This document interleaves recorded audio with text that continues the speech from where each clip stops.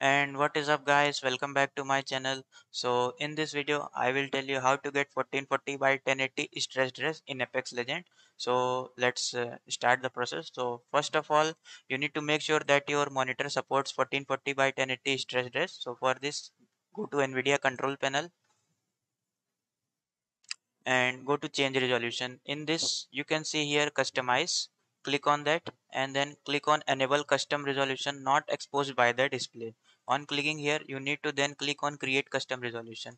After clicking here you need to type here 1440 by 1080 this is basically the process of testing that whether your monitor supports uh, 1440 by 1080 or not. Because if you directly do that in game uh, maybe your pc will completely turn black and you need to reset your graphic card. So first of all test it that whether your monitor supports it or not. So after putting 1440 by 1080 make sure that your refresh rate is highest available. My is 75 you may have 144 or 240 just put it there and click on test. After clicking on test it will uh, if your screen comes then it is good. And if it is black then just it will automatically reset after 15 seconds. So if it not black then click on yes and it will automatically reset on 1080p so you can see that i have uh, properly created 1440 by 1080 stretched res. Now uh, before applying this setting you need to first make sure that you're in adjust desktop size and position you are on full screen. See here. You need to in click on adjust desktop size and position and click on full screen. Otherwise you will get black bars or something in above. So which is not good. And uh, also some people prefer perform scaling scaling on gpu as this uh, basically my graphic driver is gpu so i will prefer gpu so it's your choice. You can either choose display or GPU it does not matter much uh, because I personally felt it. After doing this click on apply. And next thing you wanna do is go to change resolution and then apply this resolution we apply this we can directly do this in, in game without changing our main desktop resolution. But if you do that and if you try to open apex legend and switch to your desktop then it will take some time and a black screen will appear to change the resolution. So it's better to first of all change your monitor resolution and then try to do it in game now the now we uh, this is the first step. Now we need to change the in game in the game resolution. So click on search and type saved games you need to make sure that this uh, this folder is selected. And here you can find respawn then click on apex then click on local then you have to click on video config.txt and here you need to make sure that instead of here in setting default res you need to make sure instead of 1920 you type 1440 by 1080 if you skip this step your game will uh, automatically understand that your monitor is a full hd monitor and it will automatically switch to the 1080 uh, default res. So it's better to do in config and then click on save and then make sure you uh, apply read only because uh, it might uh, when you launch apex it already knows that you are playing on 1080p monitor so it will try to reset default.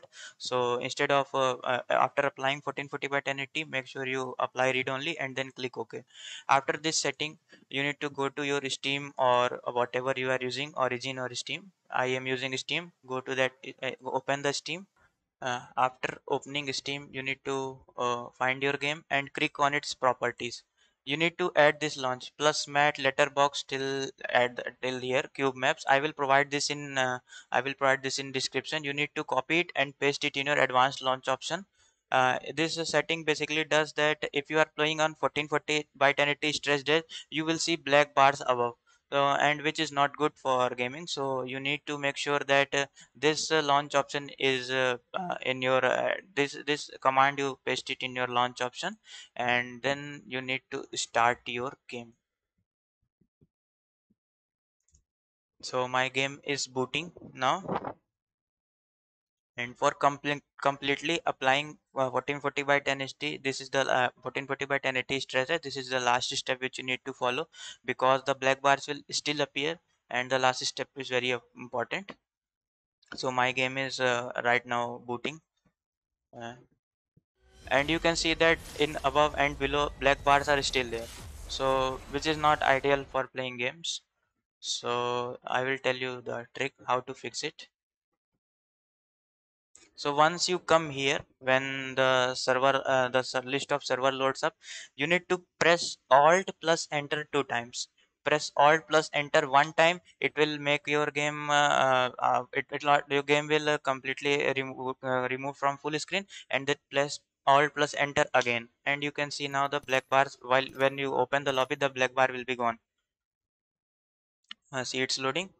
And see see the black bars is completely gone. So this is the main, main important step. When your server screen loads up you need to press alt plus enter.